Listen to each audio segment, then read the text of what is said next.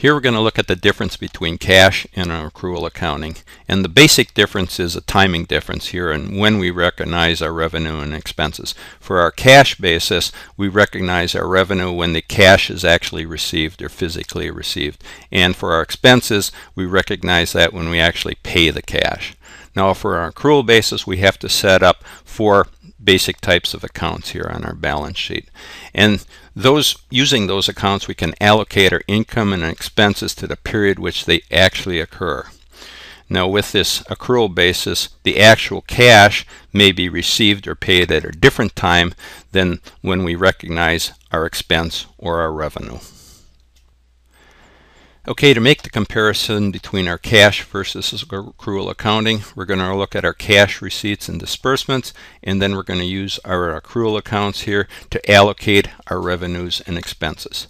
Now, these accrual accounts, the liability ones on the balance sheet are going to be our unearned revenues or our deferred revenues, and our accounts payable or our accrued expenses. And then for our asset accounts here on the balance sheet, we're going to look at our accounts receivable or accrued revenue, and then also our inventory or prepaid expenses, which are deferred expenses.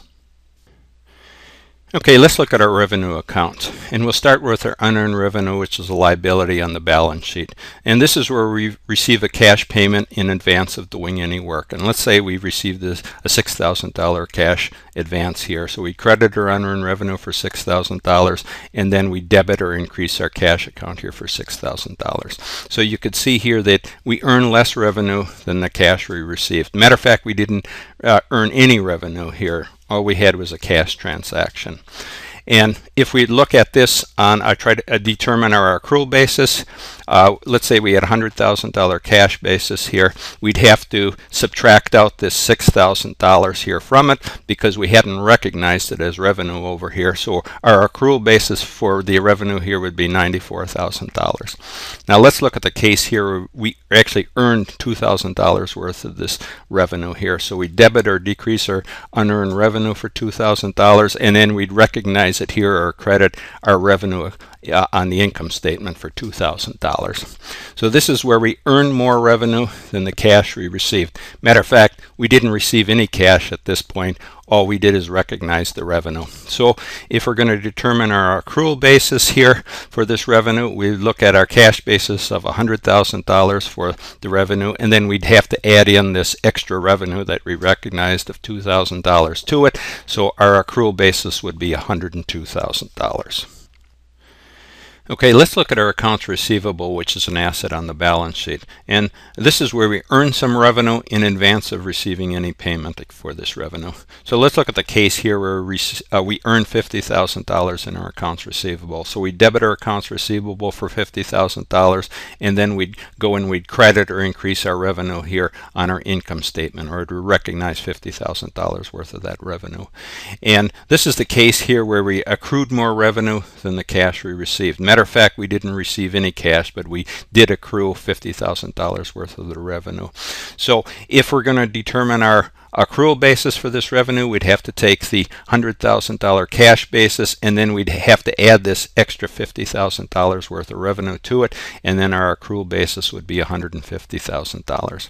Now let's look at where we actually received the $10,000 cash payment against this accounts receivable. So we'd credit our accounts receivable to $10,000 and then we debit or increase our cash for that payment here of $10,000. Now this is the case here where we accrued less revenue than the cash we received. Matter of fact, we didn't accrue any revenue at this time. All we did is have this cash payment. So if we're going to determine our accrual basis for this revenue, let's say we had a $100,000 cash basis, we'd have to subtract this $10,000 because we hadn't recognized it here as a revenue. And so we subtract the $10,000 from our cash basis of $100,000 and then we'd have an accrual basis here of $90,000 for our revenue.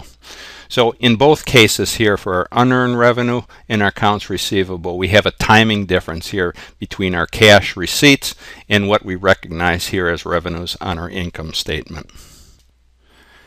Okay, let's look at our expenses.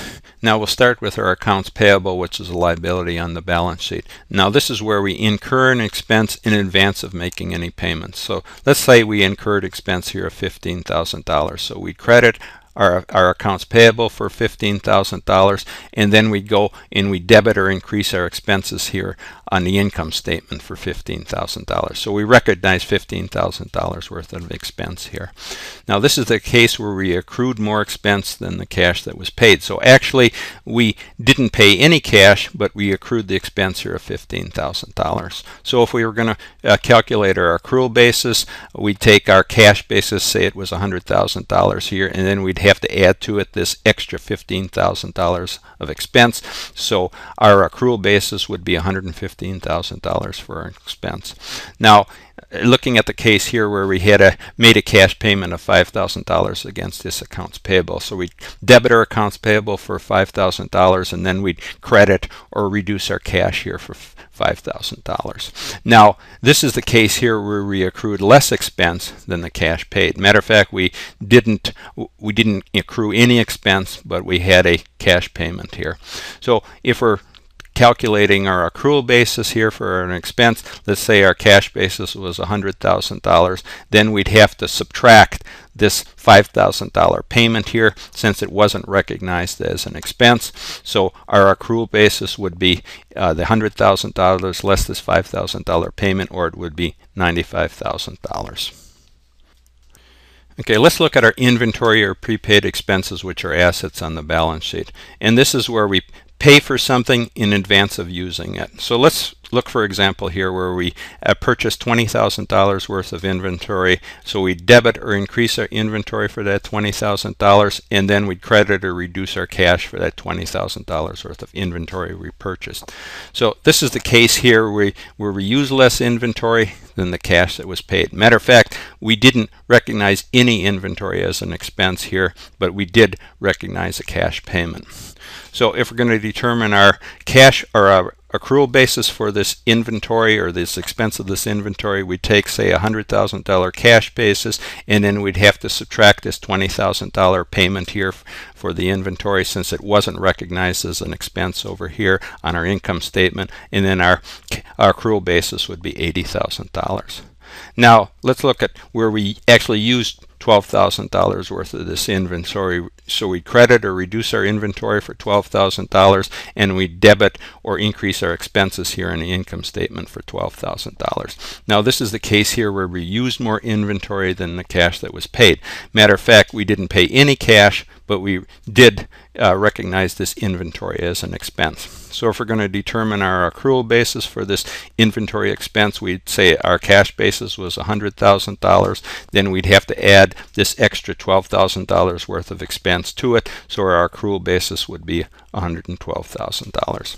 So in either case here for inventory as prepaid expenses or our accounts payable, we had a timing difference here between our cash payments that we made and our expenses that we recognized here on our income statement. Okay, to summarize, using a cash basis accounting, we recognize revenue and expenses only when we actually receive cash and we actually pay cash. Now when we're using the accrual basis accounting, we use these asset and liability accounts here on the balance sheet so that we can allocate our revenue and expenses to the period in which they actually occur. Now with the accrual basis accounting, we have a timing difference here between our cash receipts and our cash payments with what we recognize here as revenue and expenses here on our income statement.